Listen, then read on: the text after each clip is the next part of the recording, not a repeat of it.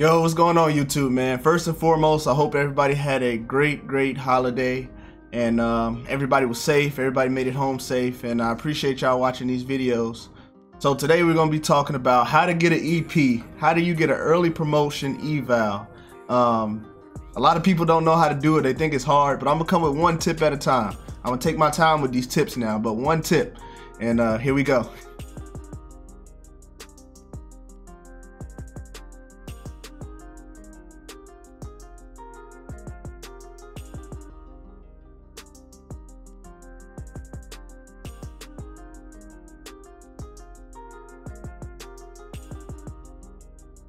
So today's tip is gonna be focused on being good at your job. That is so underrated when it comes to like getting the EP. Everybody assumes that you must do the collateral duties, you must do the volunteering, you must go to school. First and foremost, do good just do your job really well.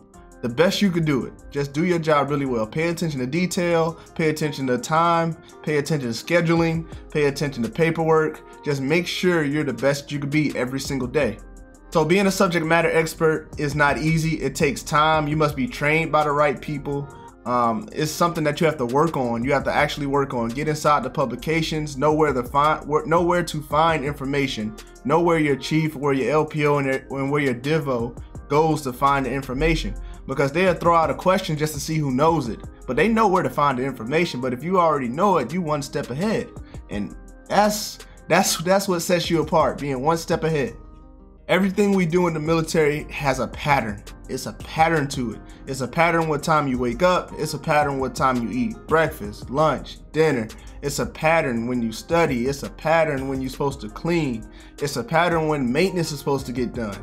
You got your dailies, you got your semi-annualies, you got your quarterlies, you got your annualies, you got your routine checks. You got stuff that happens every single day on a schedule. You got your sailor to quarter boards. It's publications that tell you when that stuff is supposed to happen, when paperwork is due for evals. It's all about how proactive you are as a person. You better yourself first, like the inside of yourself. You got to make sure, like, okay, I know this needs to get done. Let's go ahead and get it done. And then you're able to lead other people around you to get it done. And that's where you're setting yourself apart again. So not only do you know your job, now you know when the stuff is supposed to get due, which in turn you're helping everybody get better. And that's gonna lift you up. You you help somebody else and then you'll get lifted up as well, just how it works. All right, a big tip is to look for those things about your job that other people don't like to do. Like being good at your job. You you find those little things like as a squadron, you have to sometimes use safety wire. Not everybody knows how to safety wire properly, but you know how to safety wire properly. So they make sure that you're there during every evolution that requires it because you're the best to do it. Or you're the best at doing this type of paperwork. Everybody wants you to look over it because they know for a fact when you look at it, it's gonna get done. Um, when things are hard, people tend to stray away from it. Don't be that person that strays away from it. Be that person that goes and gets it. Be that subject matter expert, that go-to person, that person that that's already operating at the next next three levels higher because they know what's going on. They know what time it is, and um, they always on work on time. Always at work on time. Be on time. Do your job. Be good at your job.